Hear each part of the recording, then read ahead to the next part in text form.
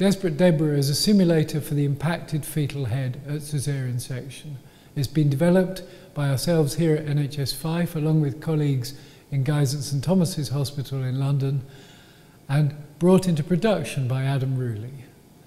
It recreates in a very lifelike way the experience of trying to deliver a baby's head when it's impacted deep in the mother's pelvis at caesarean section in the later stages of the first stage or at full dilation, sometimes the baby's head can be so far down in the birth canal, in other words, so nearly born the normal way, that even at caesarean section it can be difficult to deliver the baby. The head can become impacted in the mother's pelvis. This has become a topical concern, particularly in recent years, with many devices and techniques described in fact, over the last 50 years, but no real consensus as the best technique. Desperate Debra is a very lifelike simulator that recreates the experience, so at least we can train doctors and have a discussion about the best ways to deal with this very serious problem.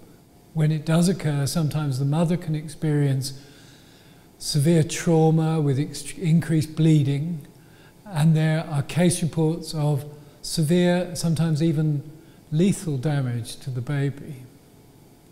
So with Desperate Debra, the position of the baby can be adjusted. It can be occipito anterior, occipito posterior, or any number of positions.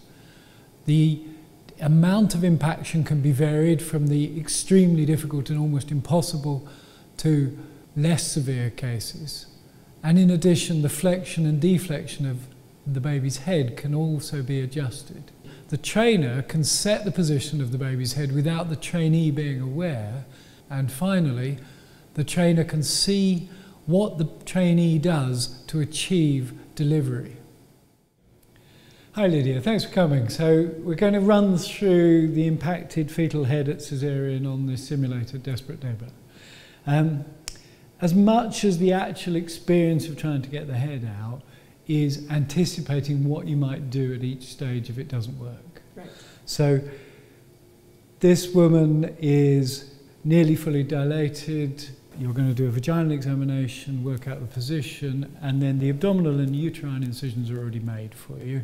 Then you're going to do your cesarean. But if you have difficulty with the head, you've got to think what you'll do next. The first thing to do is to relax. The first thing to do is to let a uterine contraction pass.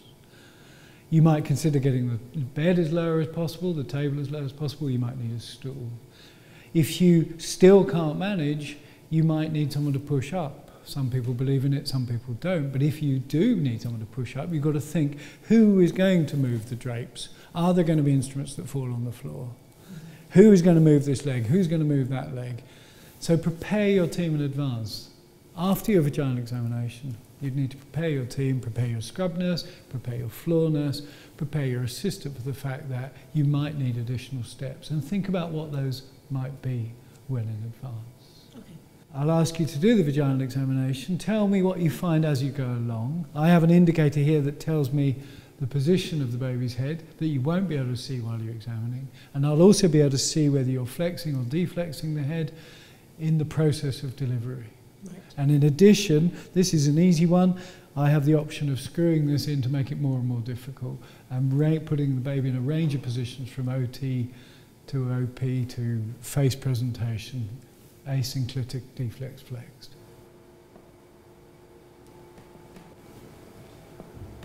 Okay, so it's LOT. I can confirm you got that right. Yeah, yeah and it does feel well down. It's below the spines and um, feels very wedged. Feels like it might be a tricky one. Yeah. Yeah, which is part of the assessment, isn't it? We have no better way of assessing that than experience very often. So your abdominal and uterine incisions are made. I'm your assistant, I'm also your scrub nurse. Go to deliver the head. Okay. Okay. Can I have the table down as far as it will go? Okay. That's the table as low as it goes. And a step. Okay, there's one there.